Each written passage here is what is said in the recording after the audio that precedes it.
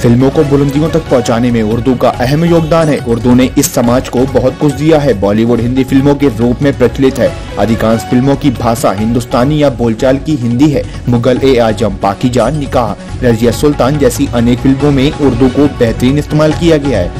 ये कहना है फ़िल्म अभिनेता रजा मुराज का, जो शुक्रवार को उर्दू अकेडमी में आयोजित जश्न उर्दू के पहले दिन फिल्मी दुनिया और पत्रकारिता में उर्दू का योगदान विषय सेमिनार में बतौर मुख्य अतिथि बोल रहे थे। इस मौके पर वक्ताओं ने उर्दू को रोज़गार से जोड़ने की ज़रूरत पर भी ज़ोर दिया। उत्तर प्रदेश आर्टिस्ट अकेडमी की ओर से आयोजित सेमिनार में अभिनेता रजा मुराद ने कहा कि उर्दू को रोज़गार से जोड़ने की ज़रूरत है। अभिनेता शाहबाज खान ने कहा कि बॉलीवुड फ़िल्मों की कैफी शकील, बदायूनी साहिर, मजरूस जैसे शायर ने लोकप्रियता के शिखर पर पहुँचाया है।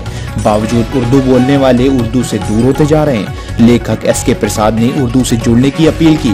कार्यक्रम की अध्यक्षता अब्दुल नसीर नासिर ने की।